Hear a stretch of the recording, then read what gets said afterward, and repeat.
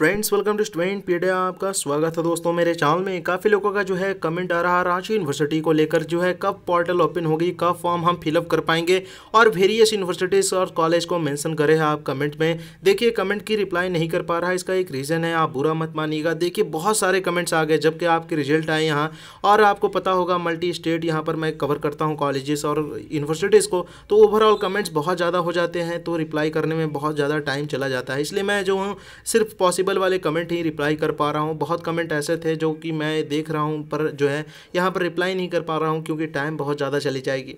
तो देखिए, मैंने कमेंट्स आपके देख लिए हैं। कमेंट्स सारे कमेंट्स देखे मैंने।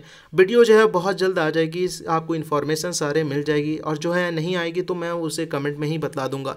फॉर्म कब आएगी, आप सोच रहे हो तो देखिए पोर्टल जो है ओपन करते जाएगी। जहाँ तक मुझे पता है फ़र्स्ट वीक ऑफ़ अगस्त में यहाँ पर फॉर्म यूजी के आना स्टार्ट हो जाएँगे। ऑल ओवर रांची यहाँ पर देखा जाए या यहाँ झारखंड में यूनिवर्सिटीज़ कॉलेज की फॉर्म तो देखिए सेकंड वीक तक जो है यहाँ पर लगभग सारे जो है यहाँ पर फॉर्म अवेलेबल हो जाएँगे। कितना टाइम दिया जाता है यहाँ फॉर फॉर्म फिलअप करने के लिए? तो देखिए इनफ टाइम दी जाती है। सितंबर पूरा, अगस्त जो है पूरा आपका रहने वाला है यहाँ। फॉर्म फिलअप करने का सेशन समझ लीजिए टाइम रहेगा अगस्त तक आपके। उसके बाद जो है मेरिट लिस्ट आना स्टार्ट होंगी और एडमिशन भी मेरिट लिस्ट के साथ हो जाता है। यहाँ पर जो है आपको बतला दूँ एंट्रेंस एग्जामिनेशन नहीं देखने को मिलता कोर्सेज में। यहाँ पर एंट्रेंस एग्जामिनेशन के बेसिस पे एडमिशन नहीं होता। बाकी कॉलेजेस भी जो है चांसलर पोर्टल से जो है फॉर्म फिलअप होती है। जैसे यहाँ पर एफिलेटेड कॉलेज देखेंगे, मड़वाड़ी वगैरह।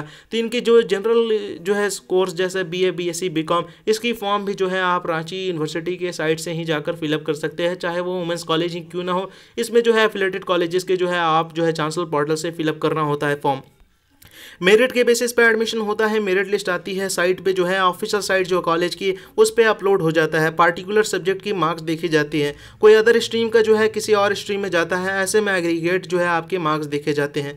देखिए, जब भी फॉर्म आएगी, मैं पूरा प्रोसेस एक्सप्लेन कर दूँगा। आपको थोड़ा वेट करना होगा, यहाँ फ़र्स्ट वीक ऑफ़ अगस्त में साइट को अपडेट कर दी जाएगी फॉर्म अवेलेबल हो जाएगा नोटिफिकेशन यहाँ पर आ जाएगा। नोटिफिकेशन देखकर आपको जो है बतला दूँगा नोटिफाई कर दूँगा आपको, ताकि आप लेट ना हो सके, यहाँ जल्दी फॉर्म फिलअप कर दे। आपने जो है मार्क्स यहाँ पर मैंसन कर दिया, ठीक है?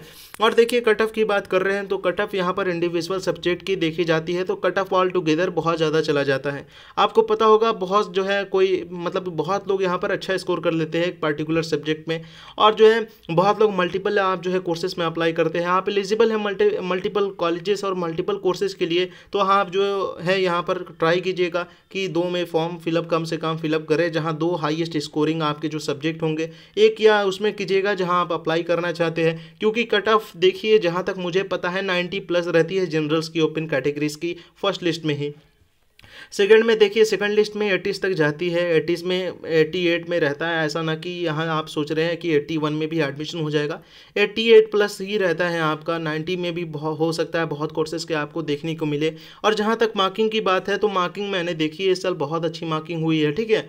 बहुत अच्छी मार्किंग हुई है तो कटअप भी बहुत अच्छी जाएगी, यहाँ पर बहुत आगे जाएगी कटअप और कटअप ज़्यादा जाएगी तो यहाँ पर आपको बदला दूँ, स्टूडेंट भी काफ़ी बढ़ जाते हैं, स्टूडेंट भी अप्लाई करते हैं, और तो स्टूडेंट जितने अप्लाई करेंगे, वो उस जो है कोर्स पार्टिकुलर कोर्स का कट ऑफ़ बहुत ज़्यादा चला जाता है।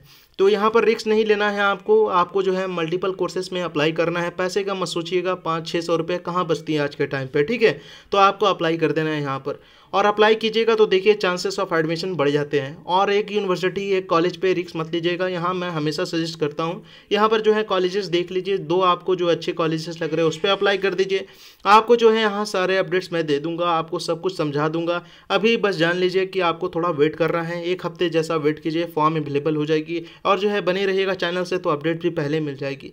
होप आपको समझ में आ गया हो। Thanks for watching best of luck